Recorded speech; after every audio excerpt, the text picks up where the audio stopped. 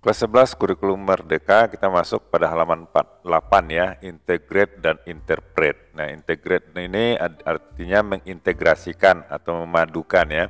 Dan interpret ini artinya menafsirkan atau mengartikan. Nah, ini di activity 3. Nah, ya kita lanjut pada uh, integrate dan interpret.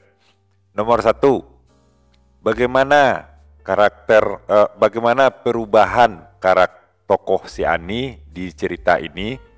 Nah, artinya ini eh, apa perubahan yang terjadi ya, apa perubahan-perubahan sikap yang terjadi se, eh, terhadap karakter Ani ini. Itu yang eh, yang harus kamu perhatikan dalam eh, cerita ini. Jadi di awal hmm, mungkin kita terjemah dalam bahasa Indonesia dulu ya. Di awal cerita Ani orangnya eh, sangat lemah dan eh, ragu-ragu eh, ya terhadap ident, eh, jati dirinya sendiri. Nah, itu dia.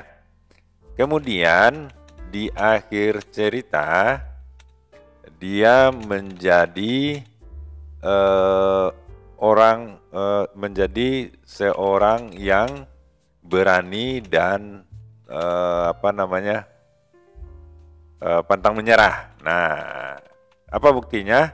Karena dia berani menghadapi Seila, siapa? Seila ya, Celia yang merampas uh, apanya? Merampas kekuasaannya dan identitasnya sebagai putri. Nah, itu dia.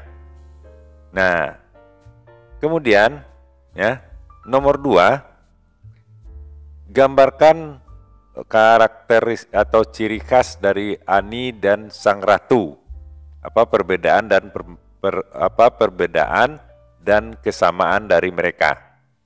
Nah, di sini eh kalau si Ani ya, kalau si Ani si Ani orangnya eh, apa namanya? innocent ya. Eh, in, apa namanya? Eh, ya innocent dan tinggal di bawah bayang-bayang ibunya. Nah, itu dia. Kemudian dia tumbuh menjadi uh, wanita yang berani dan uh, apa namanya pantang menyerah ya, pantang menyerah. Itu untuk si Ani. Nah, untuk si uh, si Queen Nah, sementara eh, sang ratu, sang ratu ya, sang ratu adalah orang yang eh, tegar ya, tegas ya, tegas. Dia dia sangat peduli terhadap rakyat dan eh, kerajaannya. Buktinya dia selalu berhati-hati dalam mengambil keputusan Makanya lah dia meng, me, me, apa namanya? Dia memikirkan segala sesuatunya. Kalau dia pilih si Ani sebagai uh, putri, maka masyarakat akan tidak akan menerimanya. Kalau pilih uh, putri yang uh, ketiga masih kecil, maka dia di jarinya jalan tengah. Maka dia ambillah uh, uh, anak keduanya menjadi penerusnya. Itu untuk yang nomor dua. Nomor tiga, dalam cerita disampaikan bahwa eh, sang ratu tidak memilih Ani sebagai eh, ratu masa depan, eh, penerusnya.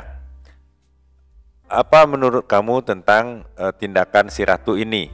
Apakah ini sebuah pengkhianatan atau ini eh, apa sekedar politik saja ya atau ini bentuk keegoisan? Kenapa? Jelaskan.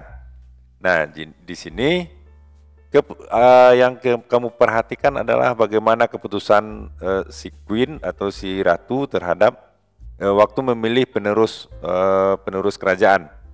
Nah, jadi yang kalian pertimbangkan adalah apakah uh, si ratu ini mengambil keputusan untuk individunya sendiri atau untuk masyarakat Apakah untuk keadilan atau rasa kasihan yang dia yang dia utamakan? Atau apakah eh, kepentingan jangka pendek atau jangka panjang yang dia eh, kepentingkan? Nah, ini kalau menurut saya ini dia sangat sangat eh, apa namanya? sangat bijaksana ya si ratu ini. Jadi eh, tindakan tindakan si ratu sangat bijaksana karena dia uh, mempertimbangkan ya mempertimbangkan segala kemungkinan dan uh, dan segala kemungkinan dan uh, dan mem, segala kemungkinan dan hmm, uh, demi ya demi masa depan uh, keluarga dan uh, kerajaannya. Nah, kalau menurut saya seperti ini, ya sangat bijak dia. Nah kemudian nomor empat, apa pelajaran yang bisa kamu pelajari dari cerita tersebut? Nah cerita ini bisa kalian uh, yang bisa kamu ambil dari cerita The Goose Girl ini apa pelajaran-pelajaran berikut ini eh, kamu ambil dari bagaimana si si tokoh merespon dan menyelesaikan masalah dan apa perubahan-perubahan yang terjadi pada diri si tokoh. Misalnya seandainya si tokoh itu contoh si Ani tadi ya, dia itu di awal dia sangat eh, apa ragu terhadap identitasnya. Nah, tapi di akhir karena dia sudah berani dan apa namanya maka dia bisa menyelesaikan masalah.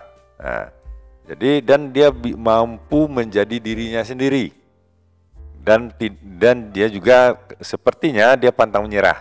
Buktinya di saat-saat walaupun di saat-saat terakhir uh, si Celia yang merebut uh, kekuasaannya itu mau menikah dengan uh, putra mahkota putra mahkota, dia masih mau untuk uh, memperjuangkan haknya, ya. Nah, jadi kehormatan dia selalu uh, apa ditekankannya. Jadi yang bisa kita pelajari adalah kita harus jujur ya, menjadi diri sendiri, berani, uh, jangan menyerah, ya. Uh, bersyukur terhadap apa ya, apa pun yang kamu yang kita miliki dan kita harus menghargai diri sendiri. Barangkali itu dulu untuk kali ini. Jangan lupa subscribe dan like kalau ada uh, apa namanya ada pertanyaan atau kesalahan silakan disampaikan pada komentar untuk diperbaiki di masa yang akan datang. Mudah-mudahan bermanfaat. Sampai jumpa.